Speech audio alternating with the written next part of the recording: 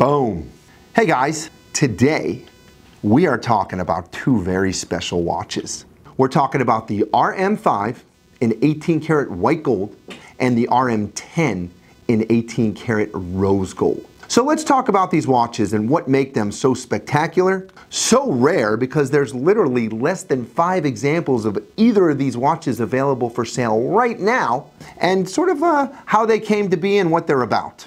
The RM5 and the RM10 were two of the original models that Richard Mille came out with in about 2005 or so. What made these watches when they were released really stand out were twofold. Number one, first and foremost, it was that transparent dial. Sort of the technology behind these watches were sort of bred from an auto sport, motorsport, and, and sort of a Formula One DNA, if you will. Why so expensive and what makes these watches so special? First and foremost, Richard Mille makes and releases about 500 watches a year, with the average price of their watch being sold at somewhere over $150,000. Richard Mille makes watches that cost $2.5 million at retail, a million dollars, a quarter million dollars, a half a million dollars. So a Richard Mille that is available for under $150,000, that's actually a desirable watch, is sort of a rare breed.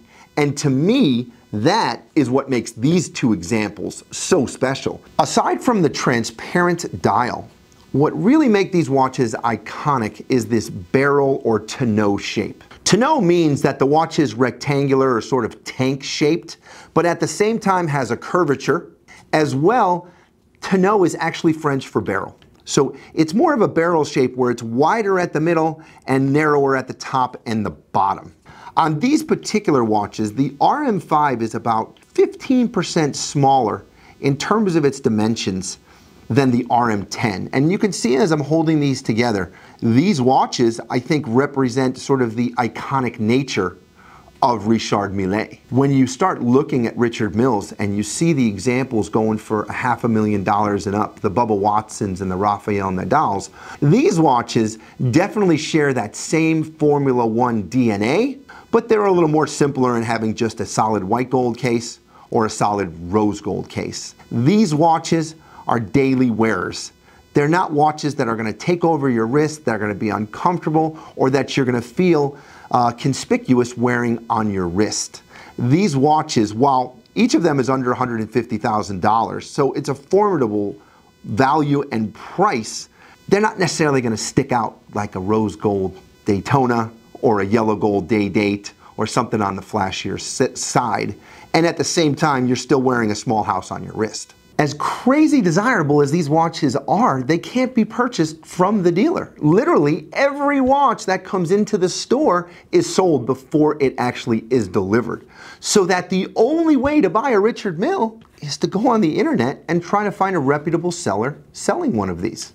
And these two particular pieces represent the economy side of Richard Mille because all you have to do is do a Google search or an eBay or Chrono24 search for Richard Mille watches, and you'll see the majority of Richard Milles going for over three quarters of a million dollars.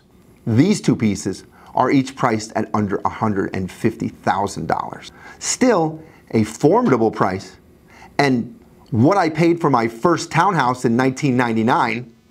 But hey, who's counting? And remember, if you're in the market for a watch, check out secondtime.com I promise you, we have the watch you want.